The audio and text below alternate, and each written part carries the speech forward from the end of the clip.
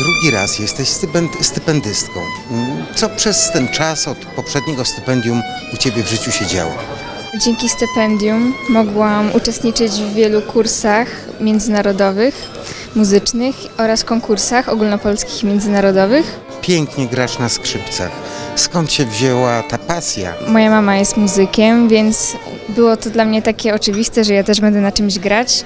Wybrałam skrzypce i tak to się zaczęło. Jesteś zadowolona z wyboru? Bardzo.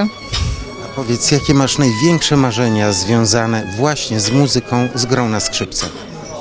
Na pewno chciałabym, żeby moja przyszłość była związana ze skrzypcami na naprawdę wysokim poziomie.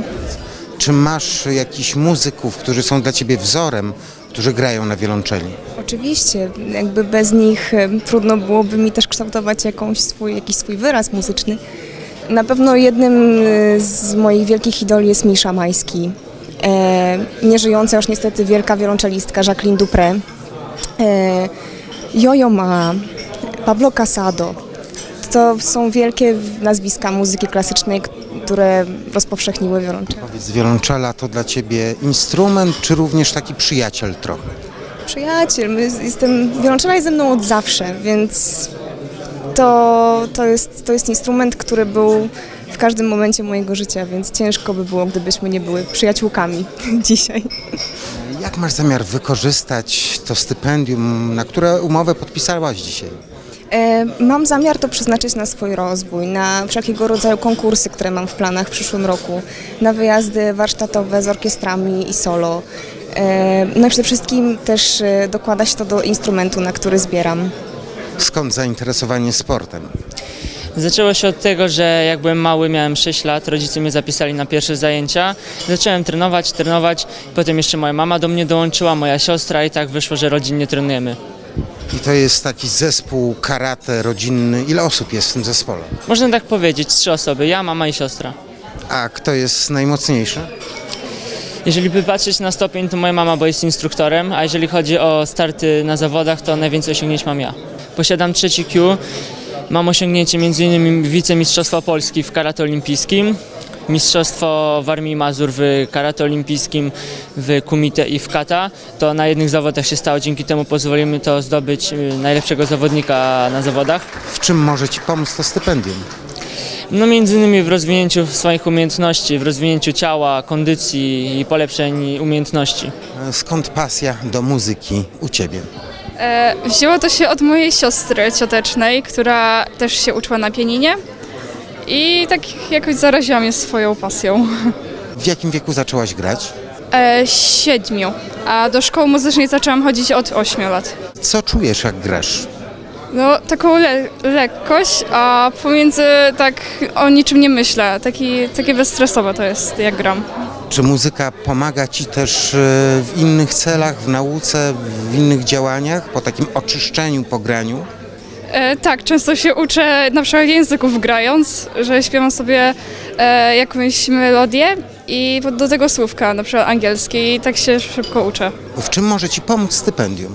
Mam nadzieję, że do dalszego rozwoju też w liceum i też jakby bardziej w angażowanie się też w szkołę muzyczną, że bardziej wyjeżdżanie na jakieś konkursy. Odebrałam stypendium w imieniu, w imieniu córki Anny Chełchowskiej, która e, jest studentką czwartego roku medycyny na Uniwersytecie w Oksfordzie. E, Jak to się stało, że e, córka została studentką tak, me- medycyny? To znaczy już od najmłodszych lat interesowała się właśnie przedmiotami ścisłymi, ścisłymi przede wszystkim biologia, chemia. W gimnazjum była wielokrotną laureatką przedmiotów, e, e, konkursów przedmiotowych, na przykład właśnie z biologii, z chemii, z, z geografii, z języków obcych. E, Dzięki temu dostała się na mm, dwuletnie stypendium w Londynie. Jest to stypendium UWC, tak, szkół, szkół, Towarzystwa Szkół Zjednoczonego Świata. E, Trafiła akurat do Londynu. Skończyła dwuletnie liceum w Londynie i to ją właśnie tak zmotywowało do tego, aby, aby ubiegać się, aby startować właśnie na, e, na Uniwersytet w Oksfordzie. Czy to nie jest Pani zasługa, że to medycyna? Czy to Pani tego nie podpowiedziała? E, No właśnie, my z medycyną nie mamy nic wspólnego, także myślę, że to chyba jej świadomy wybór. Także to, to, to jest po prostu wybór córki, e, ponieważ mówię, ja zajmuję się zupełnie czym innym. A cieszy się pani z jej wyborów? A któż by się nie cieszył? Oczywiście, że cieszę się z jej wyborów. E, jedyny problem to jest to, że jest po prostu daleko, ale w dzisiejszych czasach, e, w dobie internetu, także jesteśmy w kontakcie codziennym. W tym roku mamy pięciu stypendystów. To, są, to jest naprawdę uzdolniona młodzież. To jest młodzież, która przeszła przez naszą komisję stypendialną. Są to sportowcy, muzycy, a również przyszli lekarze. Do tej pory mm, Olsztyńskie Rotary Klub miało naprawdę dobrą rękę w przyznawaniu stypendiów. Można wymienić kilka sław. Jakie to nazwiska? No, na pewno Konrad Bukowiecki, który za czasów e, przyznania mu stypendiów od tamtej pory odniósł naprawdę ogromne sukcesy. To jest sportowiec olim, olimpijczyk i z tego jesteśmy bardzo dumni. To jest e, Cezary Ruta-Stoch, który jest e, chórzystą w chórze papieskim. E, To jest Wojtek Łozowski, który też swoją karierę poprowadził bardzo znakomicie. I mam nadzieję, że następni stypendyści, e, ta młodzież, która została i dzisiaj wyłoniona i która jest z poprzedniego roku, na pewno będziemy o niej słyszeć jeszcze nie raz.